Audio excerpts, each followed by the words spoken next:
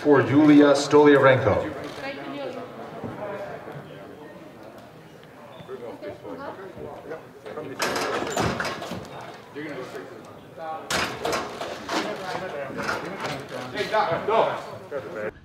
Toto video si určite zaznamenali, obletelo viac menej celý svet. Julia Stoliarenko doslova nezvládla svoju váhu a odpala na vážení a nevyzeralo to moc dobre. Prečo sa to vlastne stalo? Čo sa týka celkovo toho procesu pred splnením váhového limitu, je to veľmi náročný a vyčerpávajúci proces, ktorý, keď sa nad tým zamyslíte, tak celkom moc nedáva zmysel, pretože stále zápasím vo váhových kategóriách a môže sa nám stať, že niekto, kto má 80 kg, zrazu je to 66 Čiže je proste 14 kg rozdiel a sú to tuším, že 3 váhové kategórie, čo je celkom dosť. Chudnutie je previazané s bojovými športami už od od veky vekov. Ja som na tom vyrastala, myslím si, že všetci aktívni zápasníci na tom eh, vyrastali, ale súčasný trend je taký, že sa začína chudnúť ešte viac extrémnejšie a začínajú vlastne zápasy zhadovať ešte viac kil. Sú na to robené viaceré výskumy a odborníci sa zhodujú, že je taká miera tých 5% eh, z ubytku hmotnosti, ktoré proste tomu organizmu dlhodobo neškodia. Niektorí autori uvádzajú, že to percento je tak zhruba 2 až 3%, čo je celkom nízko. Hej, keď si zoberete 80-kilového človeka, tak 5% je, tak 80-kilový človek by mal zhodiť maximálne 4 kg na to, aby to chudnutie uh, nebolo neprospešné pre organizmus. Čo samozrejme viete, že sa to nedieje a keď 80 chudne 4 kg, tak väčšinou v zápase sa stretne so zápasníkmi, ktorí majú tak o 10 kg vyššie.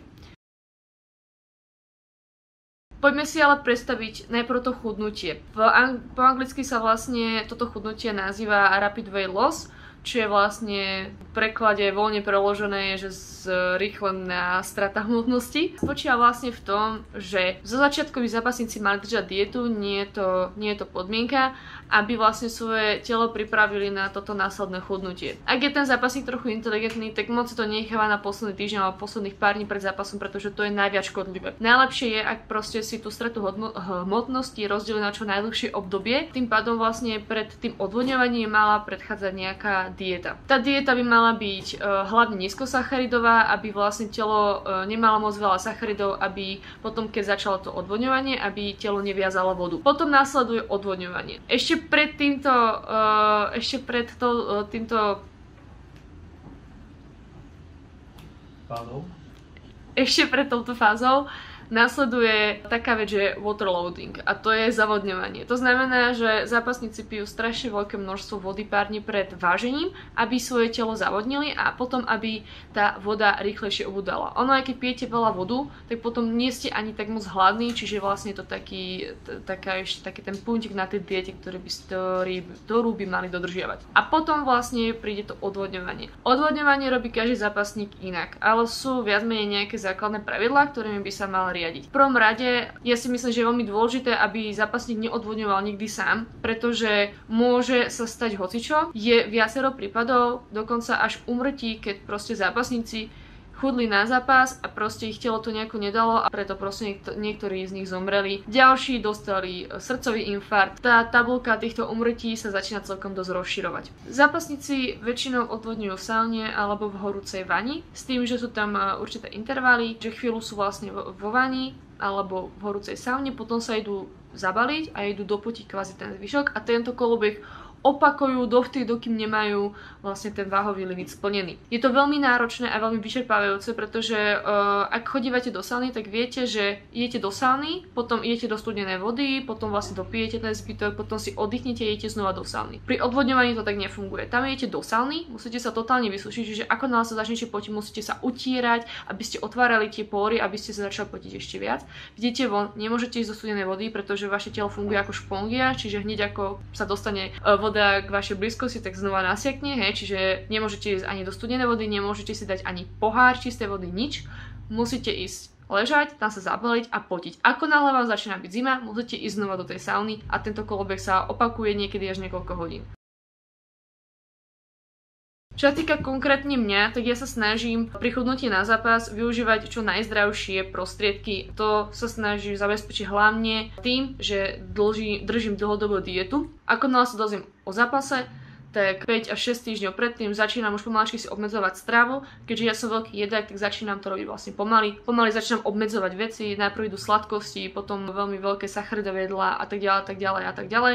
A posledný týždeň pred zápasom som už vlastne na varené zelenine a mese a ešte bielom jogurte. Zbytok, ktorý vlastne takto neschudnem na strave, tak sa snažím odvodniť. U mňa to väčšinou funguje tak, že odvodňujem maximálne 1 až 2 kg, čo pri mojej váhe 52-53 kg je celkom uh, také celkom fajn. Moje najdrastickejšie chudnutie bolo na Bellator, kedy som išla do 48 vtedy som vlastne dala 5 kg na strave a 2 kg som odvodnila na vode a bol to celkom dosť veľký hardcore a som si povedala, že tú 48 nikdy ani nepôjdem. Okrem toho, že počas toho odvoňovania sa fakt ten zápasník necíti dobre. Fakt je to dosť nebezpečné aj pre orgány. Napríklad ladviny vlastne slúžia aj okrem iného na reguláciu vody a keďže pijete strašne veľa vody, potom ju odvodníte, držíte sa dehydrovaní, to je to straší šok pre, pre ladviny a môžete si ich odpaliť, čo sa už stalo u veľa zápasníkov a preto veľa z nich ani dokázalo dať tú váhu. Niektoré výskumy ďalej ukazujú, že nielen ladviny sú v ohrození, keď sa jedná o takéto um, odvodňovanie. Okrem toho vlastne zápas zápasníci môžu pociťovať e, zníženie krátkodobej pamäte, môžu mať zníženú čulosť, môžu mať zníženú koncentráciu, môžu mať e, zvýšenú únavu a najvyššie z dlhodobého hľadiska to môže e, prísť až k nejakým poruchám stravy, čo sa vlastne dokázalo, že športovci nielen v bojových športoch, ale celkovo, ktorí museli splňať nejaký váhový limit alebo boli počas svojej športovej kariéry obmedzovaní dietami, tak potom mali väčší sklon k obezite ako tí športovci, ktorí nemuseli chudnúť do váhových kategórií alebo sa starať o stravu. Okrem toho je veľmi dôležité si uvedomiť, že takéto to rapid weight loss, ktoré sa uskutočňuje posledných pár rokov, proste tu pred nejakými 10-15 rokmi nebolo. Vtedy, keď sa chudlo na zápasy, tak fakt to boli v rámci tých noriem, hej, maximálne 4, 5, 6 kg. Aj to bol už celkom brutál. A vtedy sa chudlo, že sa nepije, nie, proste neodvodňovalo sa, takéto proste prostriedky sa nepoužívali, takže nikto nevie, aké to bude mať dôsledky na tých zápasníkov za 10-15 rokov, za 20, hej, na starobu. Proste to nikto netuší a zistí to vlastne až táto generácia fighterov, ktorí odídu potom do dôchodku. Ja si osobne myslím, že keď takto človek trápi svoje telo, tak určite to bude mať nejaké dôsledky. Verím tomu, že veri, verím tomu, alebo chcela by som, aby sa každý tomu vyhol, ale myslím si, že je to nereálne a takéto chudnutie je proste celkom dosť veľký extrém. Chcela by som že spomenúť jednu vec a to je takéto chudnutie versus žena. My ženy to máme ťažšie ako muži, nechávame si tú vodu dlhšie, nevieme ju tak veľa odvodniť ako muži. Pri rovnakom množstve chudnutia sa tvá, trápime oveľa viac a navyše to môže mať dosť veľké následky na plodnosť žien, na pravidelnú menštruáciu a na celkové to zdravie ženy. Ženy v tomto sú na tom oveľa horšie ako muži. Treba si ešte uvedomiť jeden rozdiel. Sú zápasy, kedy máte vážne deň pred zápasom, ako sú gala večery, hej, Octagon, UFC, Bellator a tak ďalej, tak ďalej. Tieto gala večery majú väčšinou váženie deň vopred. Potom sú tu turnaje, ako sú majstrovstvá sveta, svetové poháre, majstrovstva Európy, kedy sa vlastne vážite celý týždeň. Celý týždeň. Čiže keď máte zápasy, ja neviem, pondelok, útorok, streda, štvrtok, tak vždycky v to ráno musíte mať tú váhu. Neznamená to teda, že proste idete na váženie, dopijete sa, máte zápas, vyhráte, môžete sa radovať, môžete piť, jesť hoci čo, nemôžete, proste musíte ísť zase chudnúť. Keď som bola na poslednej majstrovstvách sveta v tajskom boxe, tak moja superka zo semifinále Vietnamka Buyenli takto chudla 7 až 8 kg, čo je podľa mňa masaker, hej. Ja som tam zapasila 51, čiže ona predtým mala 59-58 kg. Masakerný rozdiel. No a prejdeme na podľa mňa celkom najväčší problém tohto chudnutia a to je, že ako to vplyva na náš mozog. Mozog Poviem to úplne laicky, pretože nie som doktor a ak mám v tom nejaké medzery, tak kľudne ma prosím vás do komentárov opravte, veľmi rada sa poučím. Ak som to správne pochopila. Mozog v normálnom stave funguje v nejakej tej tekutine, ktorá bráni tomu, aby mozog narážal do steny lepky a tým pádom tlmi nárazy. Čo sa stane, keď človek chudne? Samozrejme, že sa mu vyparí aj tá voda z mozgu. Akože nie úplne celá, ale časť tej vody sa vyparí. To znamená, že keď ten človek nestihne dopiť, doplniť tie živiny, je dosť veľká šanca, nie, nie je dosť veľká šanca, je určite isté, že proste tie údery do tej hlavy majú oveľa väčší efekt, ako keď je človek dehydrovaný a pri a pri plnom zdraví. Ďalšia vec na tom je to, že posledná voda, ktorá sa doplňa do tela, je tá tekutina, v ktorej pláva mozog. Hej. Čiže môžete si dehydrovať, hydrovať, zahydrovať, rehydrovať celé svoje telo a až potom vlastne tá tekutina pôjde do mozgu. O to je to ešte viac nebezpečnejšie. No a čo sa vlastne stane, keď naraža mozog vlastne do steny lepky a moc to tam nič nemá ako tlniť? Stane sa to, že niektorí zápasníci môžu dostať CTE, chronická traumatická encefalopatia. Ale o tom potom, lebo to je strašne na moc dlho. V skratke, zápasníci, ktorí týmto trpia, tak majú dosť veľké problémy sa o seba postarať na športovom dôchodu.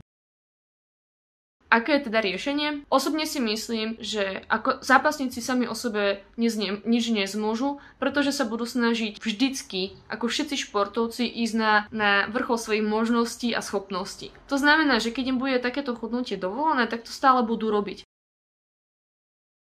Čo spravilo vlastne UFC, ako sa k tomuto postavilo? Keď zistilo, že takáto vec pretrváva a je to celkom dosť seriózny problém, tak namiesto toho, aby nejako regulovalo tú chudnutie alebo tú odvoňovanie, tak e, predlžili vlastne čas zváženia do zápasu 24 na 36 hodín. To znamená, že keď majú zápas zápasníci večer, tak sa vážia deň predtým ráno. Podľa ich slov by to vlastne malo pomôcť tomu, aby sa tí športovci vedeli lepšie rehydratovať, vedeli doplniť živiny, aby boli viac v pohode na zápase. Lenže tam je ten problém, že keď sa ten človek rehydratuje a doplní tie živiny, tak potom nabere naspäť aj tie kila. A v reále sa stáva, že človek alebo zápasník, ktorí buchajú 70 tak majú 80-85 kg, čo proste nemá, keď sa na to pozriete, proste tie váhové kategórie na konci aj nemajú zmysel, lebo sa tam stretávajú ľudia, ktorí do tej váhovej kategórie reálne nepatria.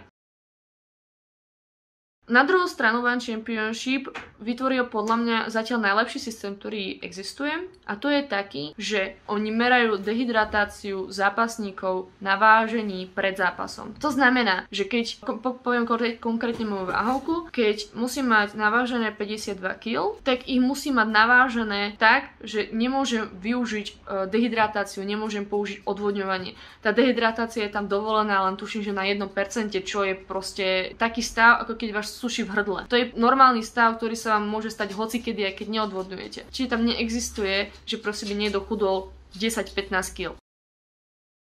Navyše IFMA je to organizácia, svetová organizácia, ktorá sa snaží o to, aby bola zaradená do programu olympijských hier, zaštiťuje vlastne tajský box. IFMA spravila skvelú vec, zaviedla jedno také pravidlo a to také, na, na turnajoch IFMA nemôžeme prevážiť viac ako 5% z tej váhovej kategórie, kde sme prihlásení. To znamená, keď som ja prihlásená do 51 kg, hoci kedy ma môžu zavolať na preváženie a nemôžem mať viac ako 53,5 kg. Ako náhle mám som diskvalifikovaná z turnaja. Okrem toho zaviedla takú vec, ktorá neviem, ako bude fungovať v praxi, že ak si myslím ja, že moja superka mala v zápase viac kýl, hej, ako je táto tolerancia, tak ju môžem potom poslať na preváženie, čo podľa mňa bude celkom dosť hardcore. V neposlednom rade by som chcela dodať ešte jednu vec a to, že Momentálne je strašný boom MMA na Slovensku a v Česku. Keď takto vlastne zápasníci alebo MMA v tomto oktagone chudnú veľké množstvo kill, tak samozrejme tá mládež to vníma a počuje to, vidí to a nemyslím si, že je to proste úplne ideálny obraz, ktorý by mali zápasníci dávať ohľadom bojových športov ďalej.